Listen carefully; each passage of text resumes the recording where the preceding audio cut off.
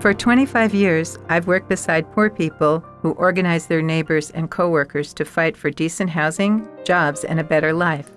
I've seen them light up a room with their intelligence and vision, and then go back to jobs where they push a broom or wait tables and are made invisible by middle class people who pass them by.